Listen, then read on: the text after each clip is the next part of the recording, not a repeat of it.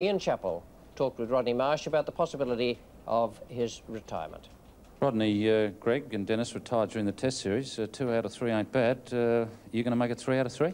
Yes, Ian. Uh, I'm available for the final series if chosen, and I'm available for uh, uh, the remaining games for Western Australia, but as from then I'll play no more first-class cricket. What prompted the decision?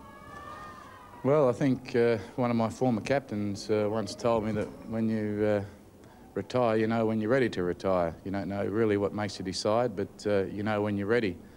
I've said for a number of years now that uh, you know, while I'm fit enough, while my form is good enough to warrant selection, and while I have the desire to keep playing international and first-class cricket, I'll continue to play.